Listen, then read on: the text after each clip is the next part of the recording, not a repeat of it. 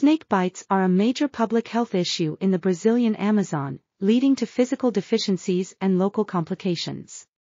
Indigenous populations have limited access to antivenom treatments, resulting in more severe outcomes than those seen in non-indigenous populations. Three cases of severe disabilities were reported in indigenous children due to Bothrops atrox snake bites, with symptoms including compartment syndrome, secondary bacterial infections, and extensive necrosis. Delayed antivenom treatment due to fragmented transportation routes and lack of rehabilitative services resulted in extended hospital stays and separation from home and family. These cases highlight the need for prospective studies to assess the burden of disabilities from snake bites in the Amazon region, so that public policy can be developed to provide culturally appropriate care and rehabilitation. This article was authored by Altair Seabra de Farias, José Saturnino Cristino, Macio de Costa Arévalo, and others.